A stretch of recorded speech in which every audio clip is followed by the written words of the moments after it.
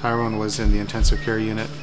The room was dark, the room was quiet, and Tyrone says, Well, I knew I was never going to play for the men's Olympic hockey team, so I'm going to go play for the Paralympic team instead.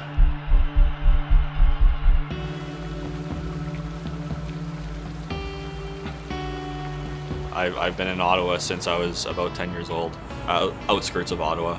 It was quiet, kind of hanging out in, uh, in the forest sometimes, and dirt biking or, or whatever. So uh, lots of pond hockey. Um, yeah, it was pretty, pretty relaxed, which was pretty good.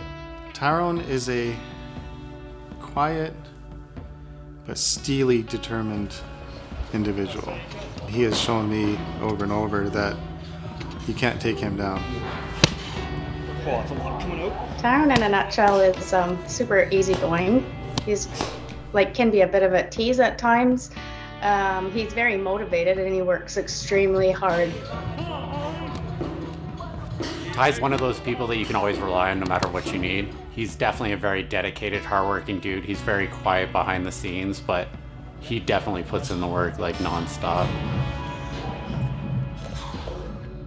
He was not the flashy player. He was the one to be the stay-at-home defenseman and uh, protect the goalie. And uh, he just is really good at reading plays from the very beginning.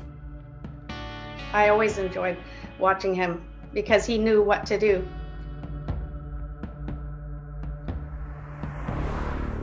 My accident was a car crash at night. We were a few hundred meters from the house uh, on, on our way back uh, home, and uh, we just lost control of the vehicle. The, the two younger boys, they made it home and went through the door and uh, woke up Marianne and then told her that they had crashed. And so, of course, she went and called me just before she was leaving to say that the kids were in an accident. She has no idea how they are or if they're even alive, and um, I need to come home right now. Right away, you, you, you know something's wrong. Um, you can't get out of the vehicle, you can't, can't do anything. Tyrone ended up having surgery um, to um, put rods in his back to stabilize everything there because he had destroyed a couple of vertebrae.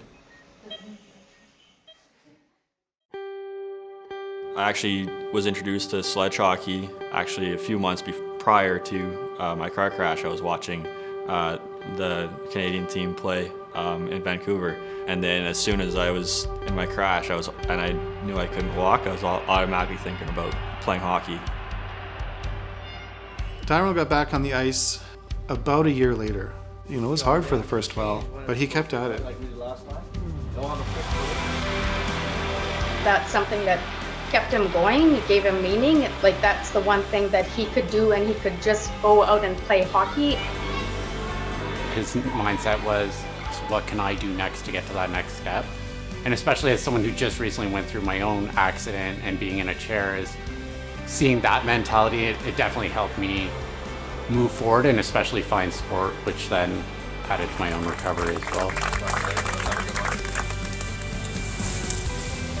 I made the team uh, about five years after my crash. It was a pretty emotional moment for me and my family, kind of just showing them that I made it. When he was named, oh my goodness, like, dude, this is your dream.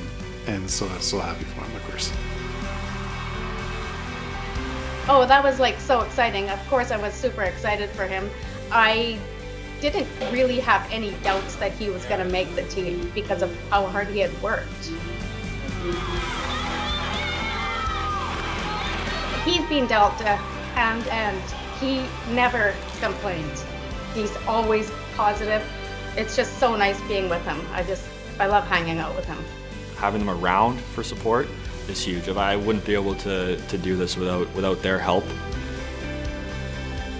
My kids used to say, you know, you know, as they start getting taller, right? No, Dad, I'm going to be getting taller than you.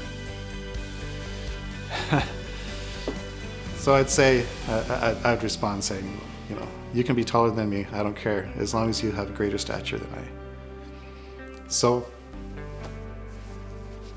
that's, I think that's what he is.